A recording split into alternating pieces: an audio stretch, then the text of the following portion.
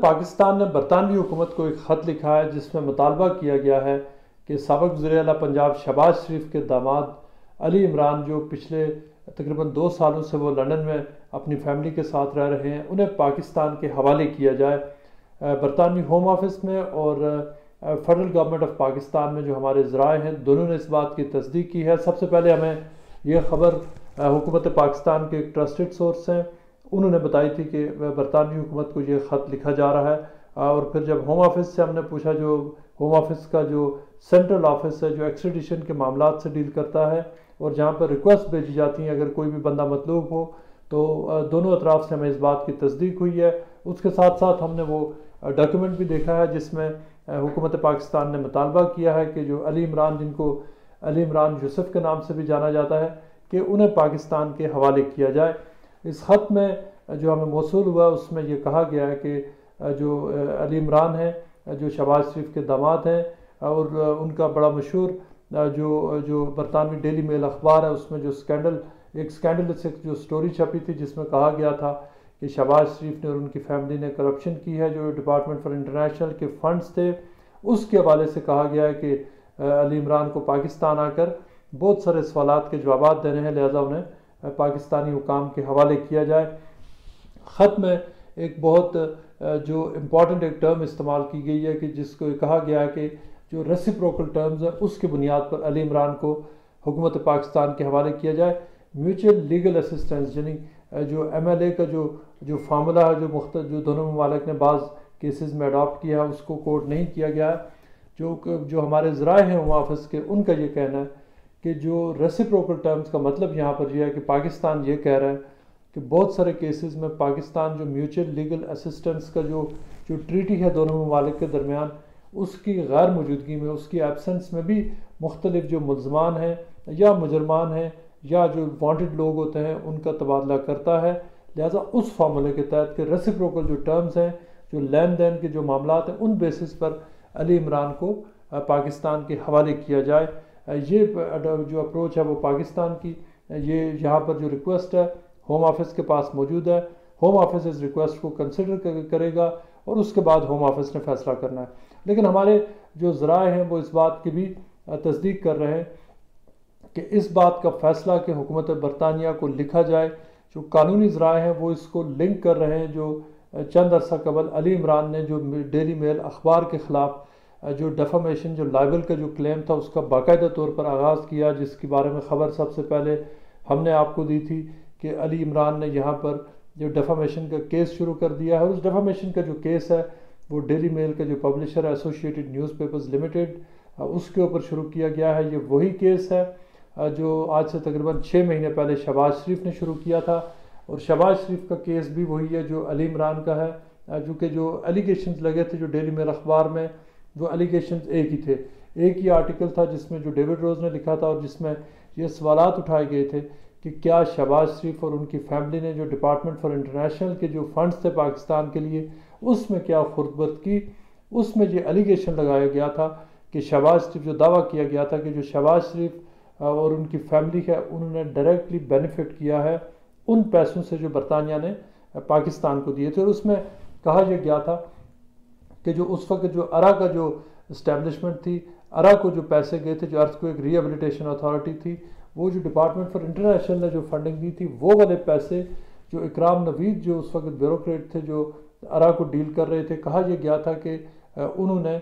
दावा ये किया गया था कि डेढ़ मिलियन पाउंड के वो पैसे ट्रांसफ़र किए अली इमरान को। अली इमरान का ये कहना है कि वो पैसे उन्होंने डेढ़ मिलियन नहीं बनते, उनका कहना है कि तकरीबन साढ़े चार, पाँच लाख पाउंड तक की अमाउंट बनती है, लेकिन उनका ये दावा है कि ये वो अमाउंट है जो अली इमरान, जो इकराम नवीद हैं, उन्होंने उनसे एक पूरा फ्लोर ख़रीदा था, उनको उन्होंने जो प्लाजा, बिज़नेस प्लाजा उन्होंने लाहौर में डेवलप किया था। उनका ये भी कहना है कि वो पैसे उन्हें नहीं मिले, बल्कि उनकी कंपनी को मिले, और वो सारे जो जो जो मामला थे, वो ट्रांसपेरेंटली डील हुए। उसके साथ साथ उनका ये भी अब कहना है, जो उन्होंने लीगल डॉक्यूमेंट जमा कराए हैं, कि इस बात का कोई सबूत मौजूद नहीं है। कि डिपार्टमेंट फॉर इंटरनेशनल के पैसे वो आए थे, चूँकि उनका ये कहना है कि जो इकराम नवीद हैं, उन्होंने तकरीबन जो जो उन्होंने नेशनल अकाउंटेबिलिटी ब्यूरो के साथ जो उन्होंने प्ली बागेन की कि उन्होंने उनके साथ जो मुख्तलिफ़ जो जो तकरीबन 42 प्रॉपर्टीज़ बनती हैं, जिसके ऊपर शुबा है कि उन्होंने गैर कानूनी तरीके से बनाई थी या खुदबत के पैसे से बनाई थी। उनका कहना है कि उन, चालीस से ज़्यादा जो प्रॉपर्टीज़ में उनकी प्रॉपर्टी सिर्फ़ एक है। बाकी लोगों को छोड़ दिया गया और उनको टारगेट किया जा रहा है। लिहाजा उनका ये कहना है कि शायद उनकी करप्शन बहुत जो मुख्तलिफ़ करप्शन या इस हवाले से उन्होंने जो पैसा जो उन्होंने बनाया वो मुख्तलिफ़ उन्होंने ज़राए से बनाया होगा, वो ये नहीं कह सकते। लेकिन उनका ये कहना है कि इस हवाले से उनको, उनका बनता भी नहीं था कि वो चेक करते कि वो पैसे उन तक कैसे पहुँचे। ये है उस केस का बैकग्राउंड शहबाज शरीफ ने इससे पहले जो केस लॉन्च किया था, उसमें उन्होंने वाज तौर पर डिनाई किया हुआ है कि उन्होंने किसी भी हवाले से उन्होंने बेनिफिट नहीं किया, बल्कि उन्होंने ये कहा है कि जब उन्हें पता चला कि इकराम नवीद ने खुद बर्द किया तो उनका ये दावा है, जो जो जहाँ जो उन्होंने कोर्ट पेपर्स जो जमा कराए हुए कि उन्होंने सबसे पहले इंक्वायरी ऑर्डर की ऑफिशियल्स को सस्पेंड करवाया और ट्रांसपेरेंटली उन्होंने लोगों को जो केसेस है वो नैब के हवाले किए। लिहाजा वो तो इस मामले से बिल्कुल इनकारी हैं। अब ये पूरा जो केस है, जो उसका कॉन्टेक्स्ट है इस केस के कॉन्टेक्स्ट में अब जो जो लीग जो बाज़, जो लीगल सोर्सेज हैं, उनका ये कहना है कि ये जो डेफामेशन का जो केस शुरू हुआ, उसके बाद इस जो एक्सीडिशन की जो रिक्वेस्ट है, उसको ट्रिगर किया गया है, जिसका मकसद जो दावा है उनका उनका ये कहना है कि इसका मकसद जो है ना प्रेशराइज करना है अली इमरान को और जो बाकी जो उनके जो यहाँ पर जो लीगल टीम है, इस हवाले से अली इमरान के वकील जो बरतानिया में पीटीआई के सबक लंदन के सदर हैं, और मौजूदा वो जो पीटीआई के सीनियर लीडर शुमार होते हैं बरिस्टर वहीदुररहमान मियाँ, वो केस लड़ रहे हैं अली इमरान का। इस हवाले से उन्होंने ये कहा है कि वो ये समझते हैं कि उनका ये कहना है कि उनकी जो तमाम जो हमदर्दियाँ हैं, जो उनकी लॉयल्टी है, वो पाकिस्तान तहरीक इंसाफ के साथ है, लेकिन उनका ये कहना है कि अली इमरान उनके क्लाइंट हैं और वो ये समझते हैं, जो एविडेंस उन्होंने देखा है, और वो समझते हैं कि अली इमरान इस हवाले से वो इनोसेंट है, उन्होंने करप्शन नहीं की। और इसी चीज़ को बुनियाद बनाकर उनका ये कहना है कि वो वो अगर वो चाहते बकौल अबैदुलरहमान मियाँ तो वो खामोश रह सकते थे अली इमरान, लेकिन अब उन्होंने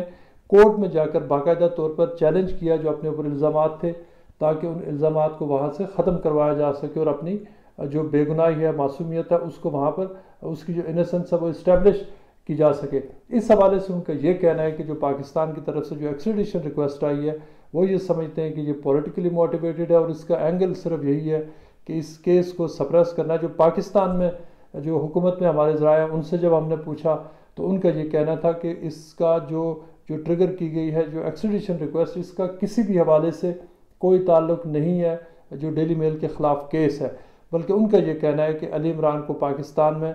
इस हवाले से जो जो इल्ज़ाम हैं, जो मुख्तलिफ़ जो जो ट्रांजेक्शन हुई हैं उनके बिज़नेस में, इस हवाले से उनसे सवाल पूछे जाने हैं। उनके ऊपर मुख्तलिफ़ ये पाकिस्तानी हुकाम का दावा है कि इंक्वायरीज़ हैं जिनके लिए उनको तलब किया जा रहा है कि वह आकर उनका जवाब दें। चूँकि पाकिस्तानी हुकाम का ये कहना है कि अली इमरान पिछले तकरीबन दो साल का अरसा होने के बाद जब से वो पाकिस्तान में मौजूद नहीं है, लिहाजा वो जो इंक्वायरीज़ जिसमें वो वो मतलूब है, वो इंक्वायरीज़ उस वक्त तक आगे नहीं बढ़ सकती जब तक वो पाकिस्तान में मौजूद ना हो। जहाँ तक ये दोनों साइड्स का वर्जन है, जहाँ तक एक्सीडिशन की मुख्तलिफ़ रिक्वेस्ट हैं, अगर उसको हम देखें इससे पहले तो पिछले तकरीबन ढाई से तीन सालों में बहुत सारी एक्सीडिशन रिक्वेस्ट आई हैं। एक्सीडिशन रिक्वेस्ट की एक पुरानी तारीख है कि वो भेजी जाती हैं, लेकिन जो अभी तक की जो हिस्ट्री देखी जा रही है फॉर एग्ज़ाम्पल जब पनामा केस चल रहा था, उस वक्त हसन और हुसैन नवाज़ के लिए एक्सीडिशन रिक्वेस्ट भेजी गई। इससे पहले इसहाक डार के लिए भेजी जा चुकी हैं। मुख्तलिफ़ जो आज पाकिस्तान पीपल्स पार्टी के लीडर्स हैं, उनके लिए एक्सीडिशन रिक्वेस्ट गई हैं। इस वक्त जो जो मुख्तलिफ़ और लोग जिनको, जो कभी नैब को मतलूब होते थे, अल्ताफ़ हुसैन के ऊपर मुख्तलिफ़ एक्सीडिशन रिक्वेस्ट हैं। कई लोग हैं जिनके ऊपर भेजी गई हैं। लेकिन बरतानवी हुकूमत की जो हिस्ट्री अभी तक, उन्होंने उन एक्सीडिशन रिक्वेस्ट को ऑनर नहीं किया है। शहबाज शरीफ के बेटे सलमान शहबाज शरीफ की इस वक्त तक तकरीबन चार से पाँच एक्सीडिशन रिक्वेस्ट आ चुकी हैं हमारे जो होम ऑफ़िस के ज़रा हैं उनके मुताबिक, लेकिन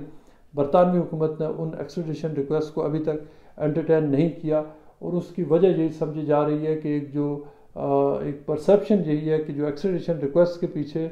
जो क्रिमिनलिटी को